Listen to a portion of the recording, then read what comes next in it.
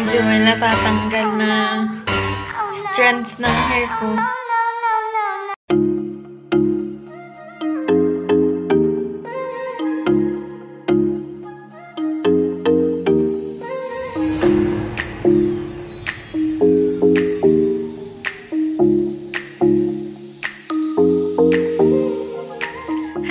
Welcome back to my channel. This is Nicole. Um, hindi ako mag-makeup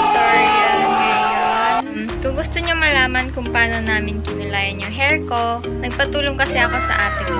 Kung gusto nyo makita, just keep on watching.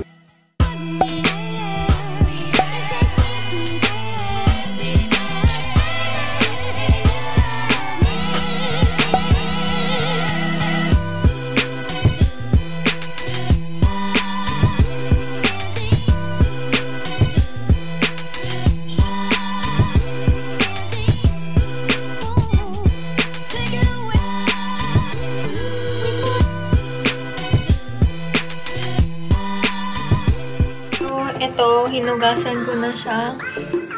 Medyo may natatanggal na strands ng hair ko.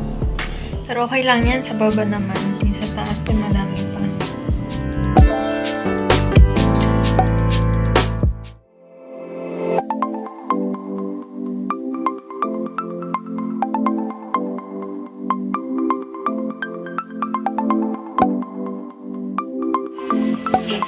Laki ng noo.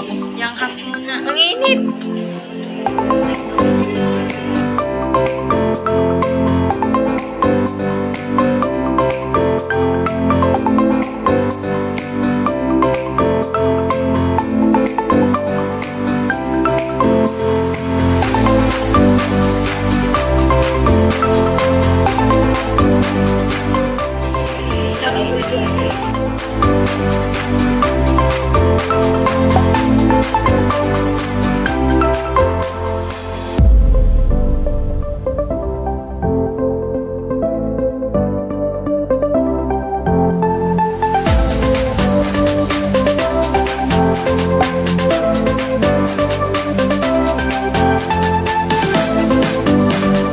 naisipan ko na ano, gusto ko rin mag-bleach yung taas. Kaya, eto kaso, ang hapdi pala, sobra.